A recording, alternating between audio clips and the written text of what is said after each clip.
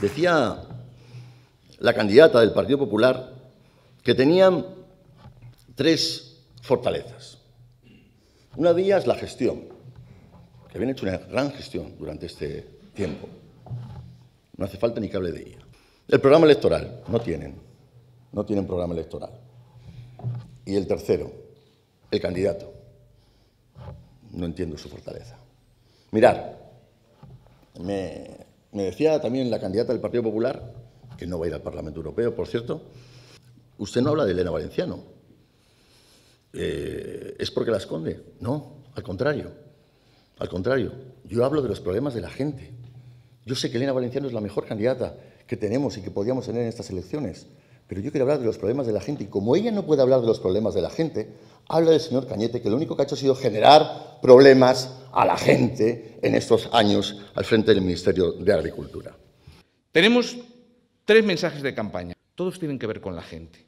Nosotros no nos limitamos a hablar mal de nuestros adversarios. Uno, Europa nos importa. Vaya si nos importa. Dos, hay que cambiar Europa. Y tres, solo los socialistas tenemos la voluntad y la capacidad de cambiar Europa. Porque a nuestra izquierda no pueden y a nuestra derecha no quieren cambiar Europa.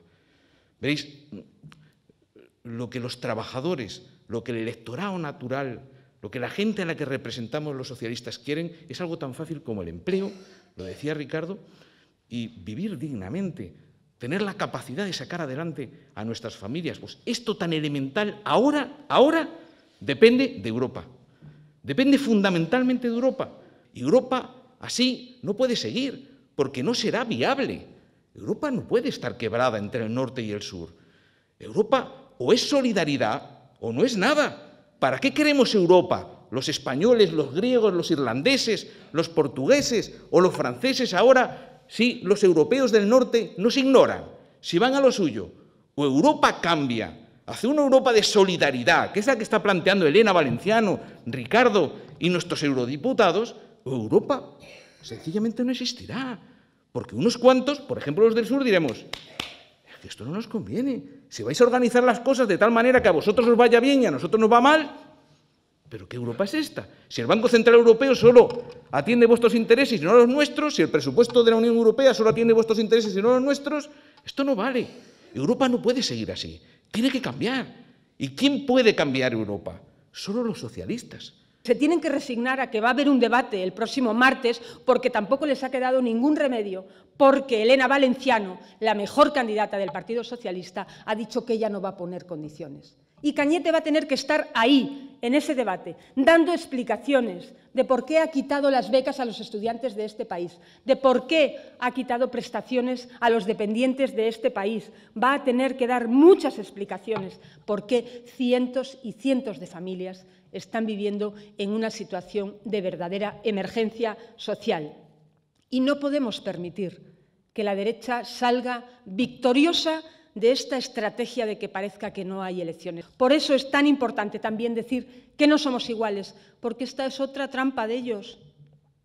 Eso de decir que somos lo mismo, que venimos a lo mismo, que hacemos lo mismo, esta es otra trampa. No somos lo mismo, porque no tenemos las mismas prioridades, porque nuestras banderas son otras, nuestros principios, nuestros valores, y porque tenemos dos formas diferentes y dos modelos para Europa, para España y para Cantabria. Nuestro modelo es el que apuesta por construir futuro. El modelo de la derecha es el modelo que destruye, que demuele, que desmantela todo. Ese es el modelo de la derecha.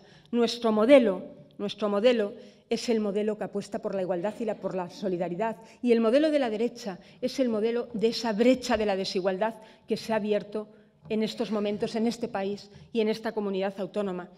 El modelo de la derecha es el que apuesta, os lo he dicho, por la precariedad, por los bajos salarios, por los despidos baratos. Y el nuestro es el modelo que apuesta por un empleo de calidad, por un empleo de calidad y con derechos para los trabajadores que se los han quitado con esa contrarreforma laboral que han llevado a cabo el año pasado.